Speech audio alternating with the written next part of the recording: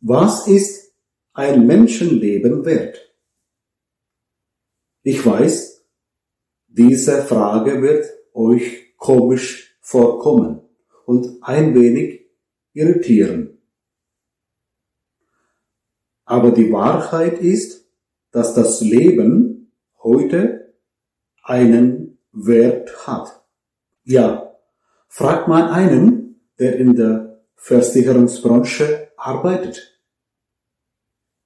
Er wird nach unserem Geburtstag Einkommen und Gesundheitszustand fragen und wird nach gewisser Rechnungsarbeit uns sagen, wenn Sie jetzt bei uns eine Police nehmen und falls Ihnen etwas passieren würde, es soll nicht vorkommen, dann bekommen Ihre Angehörigen so viel Euro Entschädigung.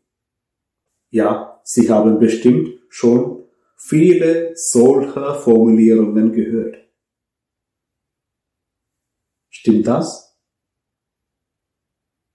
Ja, das Leben hat einen Wert. Leider bestimmt die Wirtschaft diesen Wert.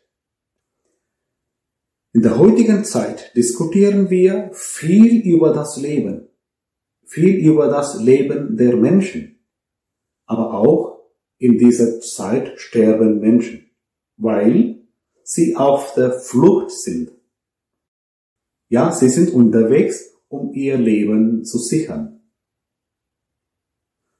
Durch Krankheiten, auch Medikamente, können sie oftmals nicht retten. Und einige Menschen sterben auf der Straße, ja werden ermordet, nur weil sie anders sind, weil sie anders aussehen.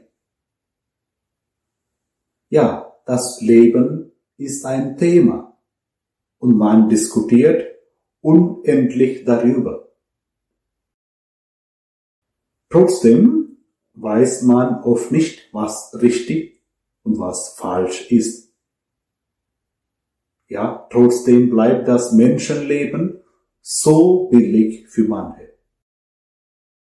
In diesem Chaos hilft uns ein Satz aus der Bibel, ihr seid mehr wert als viele Spatzen.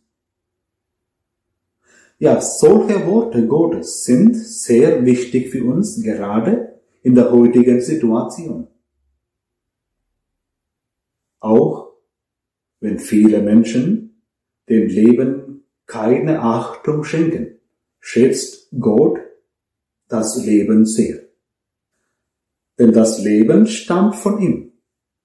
Er hat Sehnsucht nach den Lebewesen und Menschen, damit die Erde Leben hat und sie lebendig bleibt. Dabei wünscht er sich sehr, dass die Lebewesen einander achten und zusammenwachsen. Nur das Zusammenwachsen bleibt leider ein Fragezeichen. Die Frage ist noch wichtig. Was kostet das Leben? Kostet es so viel wie ein paar tausend Euro? Oder ist es viel wertvoller als alles? Spürst du in allem, was lebt, Gottes Atem? Kannst du in dir und in deinen Mitmenschen Gottes Macht, Gottes Leben sehen. Gott segne uns mit seinem Leben in Fülle. Amen.